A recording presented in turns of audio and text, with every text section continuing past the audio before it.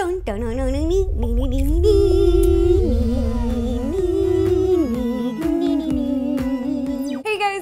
Welcome to another Nerdy Nummies. I got so many requests from you guys to make something else Game of Thrones themed, and you know me, I love Game of Thrones, so I definitely wanted to make another themed treat. I have read four of the books and watched all of the TV series. I love to host viewing parties with my friends and make themed treats, and I thought, let's make another one. The series is themed A Song of Fire and Ice, and I even wore a shirt that kind of represents this. We've got Daenerys with her dragons, the fire, and then we've got Jon Snow with his little dire wolf, the ice. Today we're gonna be making two different cupcakes, one for fire and one for ice. Let's get started. The first cupcake recipe that we're gonna be making is a vanilla mint for our ice cupcakes. The things you'll need will be one and a quarter cup of all-purpose flour, one cup of sugar, third cup of milk, one stick of butter, two eggs, one vanilla bean, one and a half teaspoons of baking powder, quarter teaspoon salt, and one teaspoon of peppermint extract. Then for our fire-themed cupcake, we are gonna be making a red hot cupcake recipe. The things you'll need will be two cups of cake flour, one cup of sugar, half a cup of milk, one stick of butter, two eggs, third cup of red hots candy, quarter teaspoon of salt, two teaspoons of baking powder, and two teaspoons of cinnamon extract. Now let's put it all together. Do, do, do, do, do, do, do, do, do. First cupcake that we're gonna be making is the icy cupcake. Combine our dry ingredients, flour, baking powder, and salt. Then whisk together till it's well combined and set it off to the side. Now cream together sugar and butter. Mix together until it becomes light and fluffy. Add our eggs one at a time, mix it up, add our vanilla bean, make a slit down the middle, open it up so you can see all the seeds. Start at the top, press all the way down, scraping out those seeds. Oh, you guys, you can't smell this, but if you could, if you could smell this through your screen,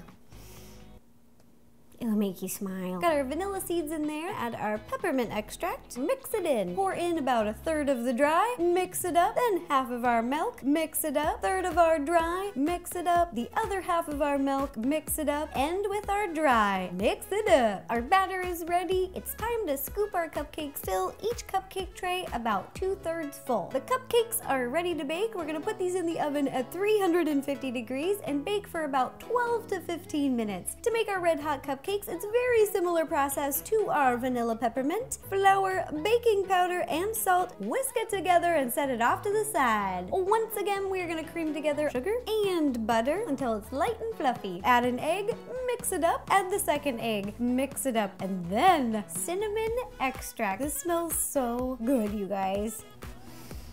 Mmm, smells like the holidays. All of our ingredients are ready. You guys know the drill. Alternate adding our dry and milk into our big mixing bowl, starting with our dry and ending with our dry. Boom, batter. Last but not least, mix red hot candies into the batter. Just mix till they're all covered. Scoop the batter into each cupcake tray about two thirds full. Cupcakes are ready to bake. We're gonna bake these at 350 degrees for about 12 to 15 minutes. While our cupcakes are baking and cooling, we're gonna get our decorations ready. We've got some different color rock candy. We have light blue and clear. Looks kind of icy. Some light blue frosting, orange, and red. We've also got two different color cupcake wrappers. We've got a sparkly red and a sparkly blue to look like fire and ice. Oh, I have a hair on me. Oh, it's connected.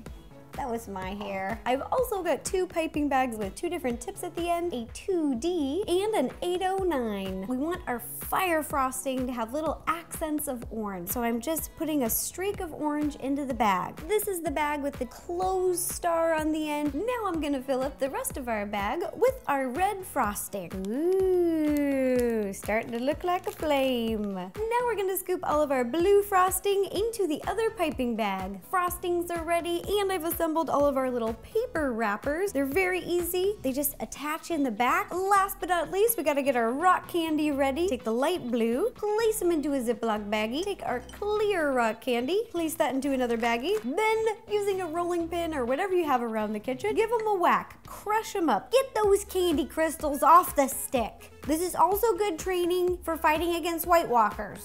Just saying. I didn't even need any Valyrian steel.